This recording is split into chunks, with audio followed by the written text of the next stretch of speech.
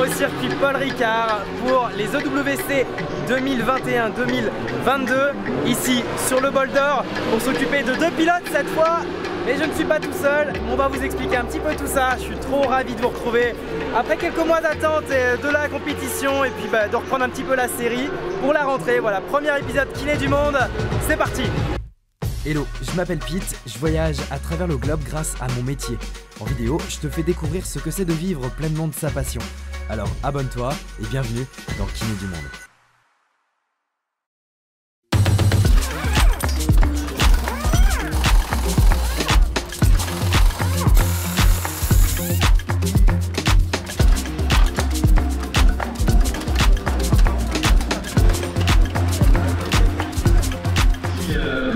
Voilà, on est 84e bol d'or ici au circuit Paul Ricard. Première fois ici, première intervention en tant que kiné. Deuxième circuit automobile de l'année, moto. Euh, toujours avec le team Énergie Endurance 91. Ça faisait trop trop plaisir de, revoir tout le monde. Euh, c'était trop chouette. Et puis euh, Martine est en forme.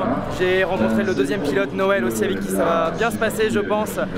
voilà, Omblin est avec moi pour superviser aussi les soins avec moi. Donc à deux c'est beaucoup plus simple et moins fatigant. Trop chouette. C'est un peu comme moment, hein. c'est vraiment euh, tous les pics sont là, tous les paddocks sont derrière. Euh, voilà, course début dans 3 heures maintenant.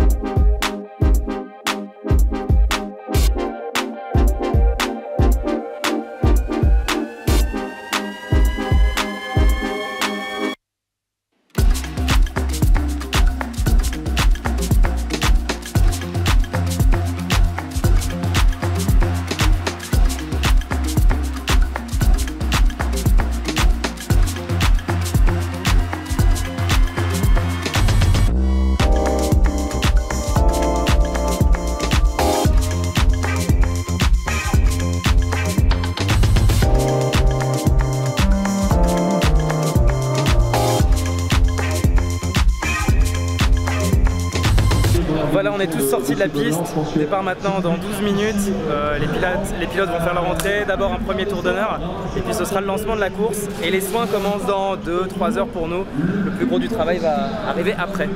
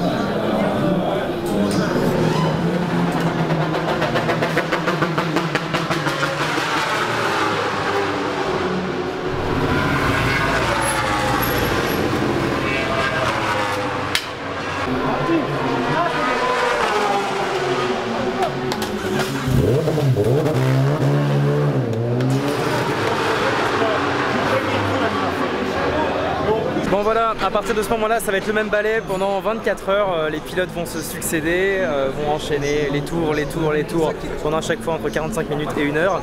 Et nous, on les voit une heure après leur passage. Donc là, Martin vient de partir, par exemple, il va revenir d'ici une heure. Eh bien, on peut s'attendre à une heure et demie, deux heures. Euh, on pourra le voir sur table, on pourra voir ce qui ne va pas. Et après, c'est le tour de Noël. Et c'est comme ça tout le temps.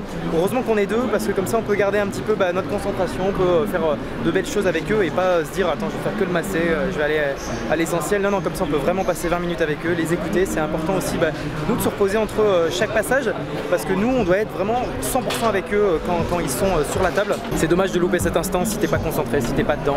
ils attendent quelque chose de, toi. Donc voilà, c'est à ce moment-là où il faut être bon, il faut vraiment être minutieux dans notre pratique. Et c'est ces petits moments-là que j'adore.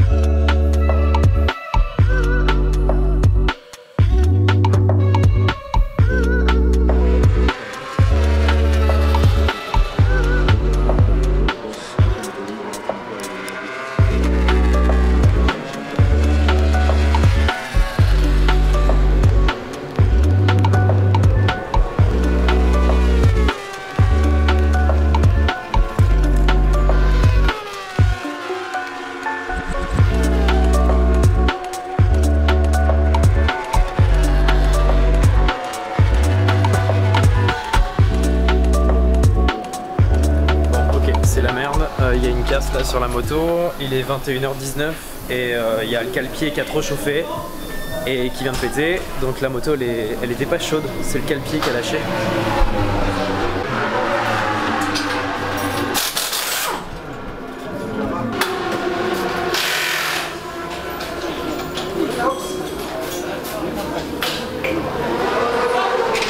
Pas tout compris. On a eu peur tout à l'heure. Qu'est-ce qui s'est passé Bon, du coup, on a la, la tige du le shifter qui a, qui a cassé. Kevin tout de suite m'a dit platine, euh, platine gauche. Hop, J'ai sauté dessus et puis on a changé la pièce et voilà. C'est pas grand chose, ça fait perdre quelques places, c'est un peu dommage. On compte sur le, le timing de la course.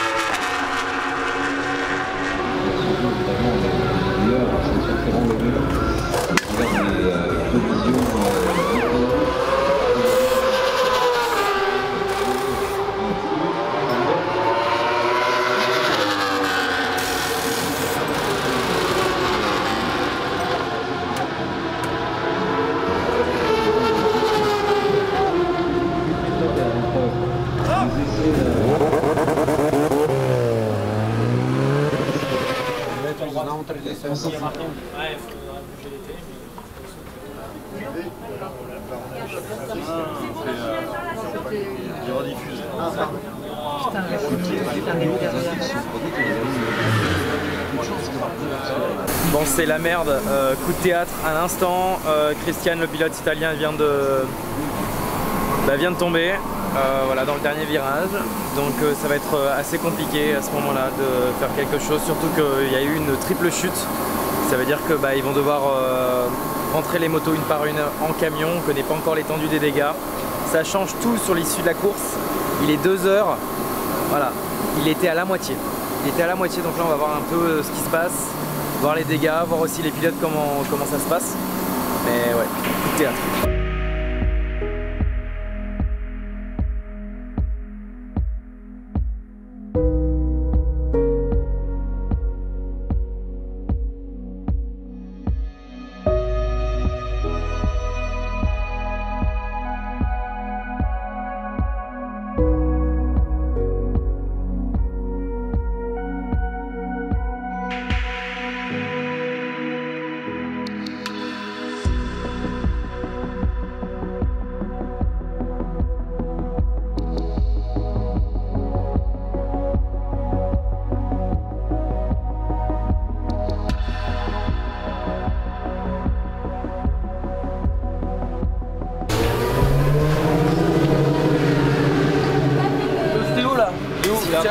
Est tombé, il a mal à la tête là.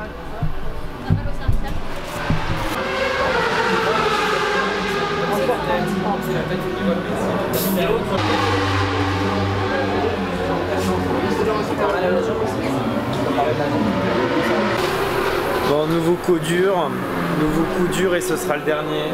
Euh, il est 5h07 et le team déclare forfait après la chute sur la tête euh, de Noël. Et tout le monde était un peu sous choc. Et lui le premier, il a craqué et, euh, on continuera pas la course. Voilà, ça s'arrête pour le team 91 euh, à 5h07 avec je sais plus combien de tours, je l'écrirai tout ça quoi, mais ça s'arrête pour lui. Euh, Martin ne pouvait pas continuer tout seul la course. Donc c'est fini aussi pour moi. Euh, voilà, on ne sera pas allé jusqu'au bout, mais c'est assez bizarre comment ça se termine. Les applaudissements, le team qui range déjà là à 5 heures. Euh, voilà, ça fait partie aussi de, bah, du risque, des risques qu'ils encourent. Et voilà, putain, c'est des héros les mecs. Euh, et je vais continuer de capter un petit peu, mais je vous avoue que c'est très bizarre et je sais pas si je vais continuer de le faire jusqu'au bout. On va peut-être débriefer demain, poser la caméra et voir un peu comment ça se passe.